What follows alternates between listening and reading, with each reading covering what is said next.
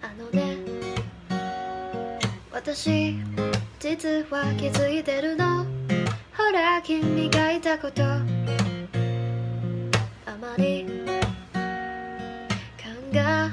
えたいと思えなくて忘れてたんだけど。も的にも動的に妄想的に生きて衝動的な焦燥ままじゃダメなんだった。きっと人生最後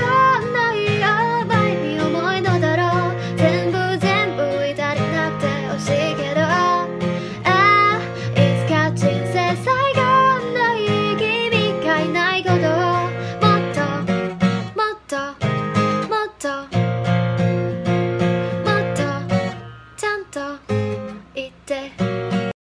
大家知不知道冰田英明这个人？他算是日系人像写真中的一个非常怎么讲，非常 iconic、非常标志性的一个存在哦。它的颜色呢，它的调色方法一直被非常多人所模仿。那日系人像呢，一直也是台湾观众、台湾人非常喜欢的一种拍摄的主题。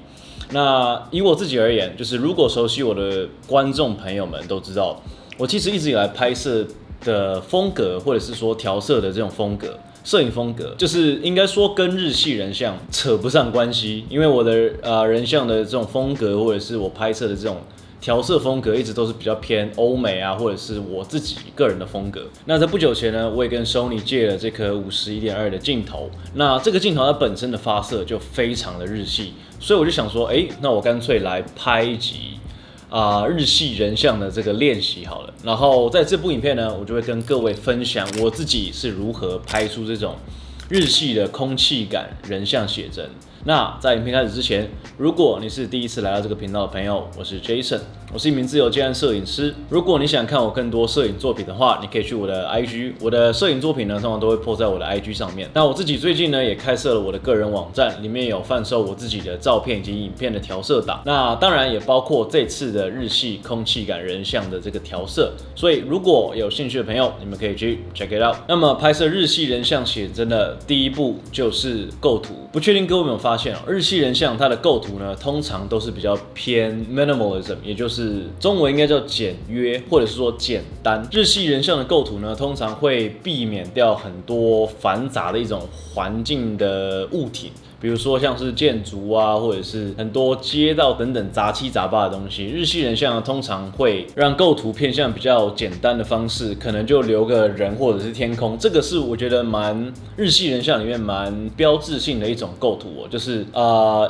以低角度的拍摄方式，然后把人跟天空这样带进去。我在蛮多日系的作品里面都有看到这类型的构图方式，所以我自己在开始啊、拍摄这种日系人像的时候呢，或者说在练习的时候呢，我就会尽量去啊、尝试让画面中不要出现太多其他杂乱的物体、街道啊，或者是路灯等等的东西。简单来说，其实摄影也是这个概念，就是少即是多。摄影其实是一种减法，而不是你在画面中塞入越多东西越好。有时候你塞入太多东西，反而会让观众觉得说他的视觉视觉不知道看哪里。再简单来说，日系人像就是要让人一眼就看出你的主体，然后看完这张照片之后，依然可以记得刚刚看过的那个画面中的主体在哪里，而不是看完之后就忘记说，哎、我刚刚那张照片看了什么。然后完全忘记刚刚的 model 在哪里，或者是人像在哪里。那我们来到第二点，也就是逆光。那因为我标题里面有打到这个日系空气感人像写真，那这个空气感你要怎么让它去做出这种空气感呢？我自己的理解是，当你的镜头对着太阳逆光的时候呢，它有一定的角度会呈现出这种炫光，还是其实我不太知道那个啊、那个名称叫什么。总之我自己的做法是呢，我会在逆光的时候，比如说啊、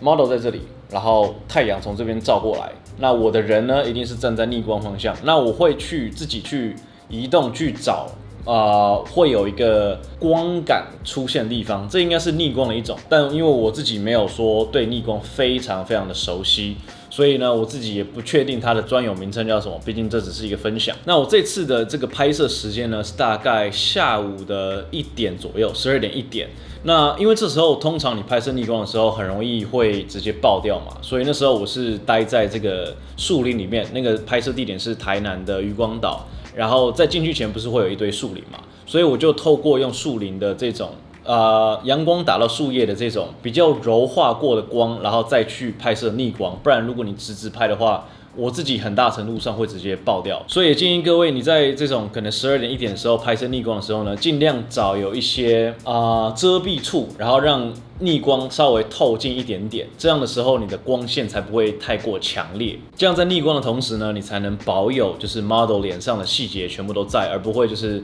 逆光一拍就有人像的脸整个全部爆掉。再来第三点就是日系的这个调色。那根据我自己的观察，日系颜色的调色呢，通常它的对比会比较低，因为可能像大家可能看惯了欧美作品，或者是我自己的作品，我自己的作品里面对比度都是。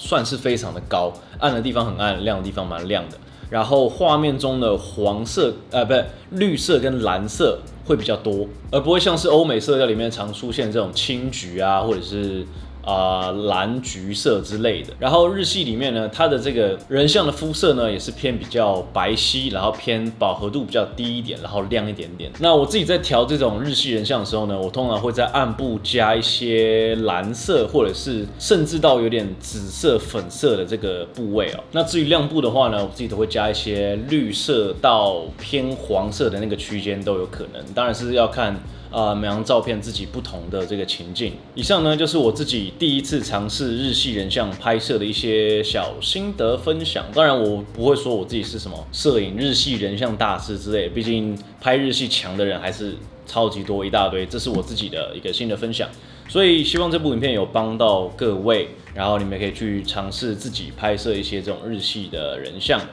那我是 Jason，我们下部影片见，Peace out。